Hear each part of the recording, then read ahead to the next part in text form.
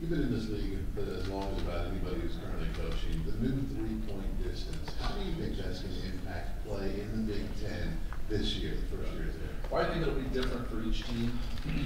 Um, I think the guys that can make threes, it's probably not gonna bother much. And the guys that are trying to be three-point shooters, it's really gonna bother.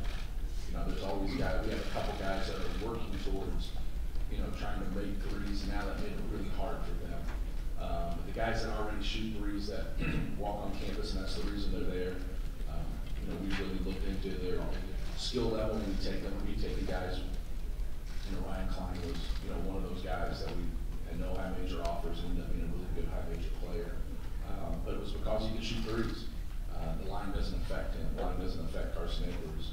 Um, but it will affect guys trying to do that. So I think as the season progresses and you look at guys' percentage, I think you can end up seeing for certain teams, people really packing it in and making you earn it, you know, from the three-point line. Because the three-point line has changed, you know, how we guard things. You know, you, you're trying to get threes, but you're also trying to stop your opponent from getting threes. So I think it's one of those way we see things, but it's gonna be interesting. I think it'll fluctuate, um, from team to team. Coach Tom Brewer, SportsIllustrated.com. With all that Carsen showed last year in regards to just taking over games and finishing that, how much of a carryover can there be in your guys who are back this year, just seeing that and being a part of it and wanting to step up and do the same thing themselves? Well, I think we have to be different when it comes to scoring the basketball. I think we had a really good balance two years ago. Um, and then last year, obviously, uh, you know, he, he had a lot of, uh, responsibility in terms of shooting the basketball. But the people around Carsen Edwards had a, had a great collective assist turnover ratio. and They took care of the basketball, they made good decisions. Um, I thought Matt Haarms was one of the best defensive players in our league. I Joe Easter was one of the best defensive players in our league. I just mentioned Grady Eifert was the most efficient player in the country. Um, so you- then you throw someone like Ryan Cline on top of it, the best assist turnover ratio in the history of free basketball. That, that, that was a good mix, that was a good, um, stew that we had, you know, with our starting five, and Trevion Williams, and those guys came off the bench, know, really gave us a punch. So I, think trying not to be like that team is gonna be really important. Like, no one's gonna take over Carsen Edwards' role for us. We didn't have a Carsen Edwards before, let's not have one afterwards. And I think that's important in basketball, because I think in recruiting, a lot of times people say, hey, you're gonna come in, you're gonna play the same role as this guy. And in reality, you're just gonna be the best, you know, version of yourself. Each team's different, even if you have a lot of experience. I think that's important for us to kind of learn. We played a lot different than we did the previous year, and I, and I look at us doing a lot of the same things, but in a different way. Paul M. Banks and SportsBank.net. December fourth, you got the rematch against Virginia in the Big Ten ACC Challenge. Looking back on your career, your tenure at Purdue, has there been a pre-conference game, a non-conference regular season game that has been maybe as much of a circle the date kind of affair as this one? Well, we have a very difficult schedule, but, you know, to be able to play, um, you know, a program like Virginia who won the national championship the next year after we had a, a tough loss to them, um, to go to the Final Four, uh, you know, it is a big, is a big challenge, but it's also, you know, we play Texas at home and we play at Marquette. Play VCU in Destin, and we either play Florida State or Tennessee in Destin before we play them. So we have so many challenges before then, but no, Tony Bennett's a, is a great coach, and, uh, it'll be very difficult for us. Um, they lost a lot, we lost a lot, um, but it's, when- whenever you play them, it's, it's very difficult, um, to go against them. They're very stingy on defense, um, very efficient on the offensive end, um, but it's gonna be a big challenge for us. Good morning, Coach. Uh, William Boyer, Basketball Society Online.com. As we creep closer and closer to uh, 2020, if you had to name the best player that you've seen in the Big Ten this decade, who would you say it is? In the decade, This decade, from 2010 until 2020, who would you say?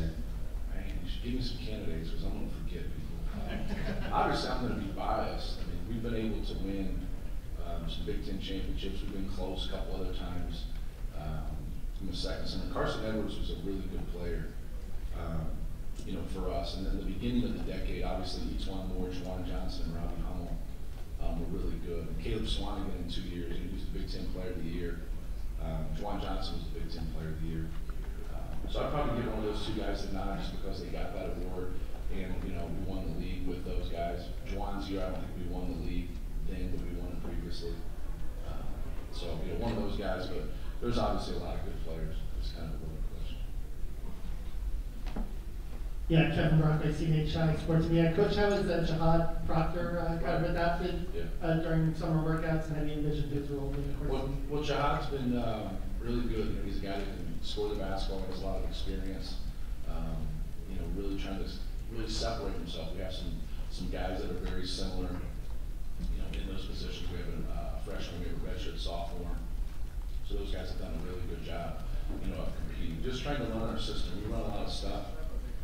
And so, just trying to get everything down, um, they're thinking too much, you know, now they're not going full tilt. And then they gotta get to it and know what they're doing, so they can compete and play hard. Uh, but no, Jahaad's a, you know, we, we felt when we lost Carsen, we needed somebody with a little bit more experience, um, in that mix. Uh, But, but he, he can really put the ball in the basket, he averaged nineteen points last year for High Point, he played for one of the best coaches in the country, in Tubby Smith. Um, so when he messes up on defense, I'm always on him, that, that he should know better, because the guy he played for at High Point, you know, was such a good coach. Uh, but we're excited to have him. It, it's hard, it's, it's really, everybody sees the fifth-year guys, and they, they come into a new program, and they're learning, part of what they have to do is the same as a freshman. Even though they have some experience, they have no experience of the program. So if they can get through that hurdle and be productive right away and build off of it, um, it really helps them. But if they don't, um, you know, they kind of get into some struggles at freshman year. Last question in the back there. James Boyd, uh, Times Norfolk, Indiana. I want to know about uh, freshman Brandon Newman, what does he bring to the athleticism, and also what do you expect from Sasha in his third year? Yeah. Well, those are the, those are the guys that are in that same, uh, phrase that I, I just mentioned with Jahaad Proctor, Sasha Stefanovic, and Brandon Newman, but Brandon is very competitive, plays hard, um, can make threes, um, just got a lot thrown at him right now as a true freshman, just so, you know, learning the system, um, competes, and, uh, lays it on the line, but just, just looking for him to keep improving every single day and, and give us that punch in the, in the backcourt. Sprained his ankle the other day, so he's he's gonna be out here for a couple days, but look for him to be back hopefully, um, you know, either tomorrow Friday. Um, Sasha Stefanovic is, uh, been really good for us. He kind of got the short end of the stick last year just because he was behind Ryan Cline and Carsen Edwards. Uh, he'd go in and play well, but he wouldn't play more, which is frustrating if you're a player, just because those other two guys are there. But I look for him to, to really help us. You know, he, out of those three guys, he knows what we're doing um, the most. He has the most experience. He can move and shoot. A lot of times guys get credit for making a play and shooting and then be able to stand still and, and shoot the basketball. But if you can sprint off things and catch the basketball and shoot, you know, you're a weapon. And, uh, you know, we're looking forward to him, you know, bringing that experience, that understanding and being able to shoot, you know, beyond the arc. Thank you, Coach. All right, thank you.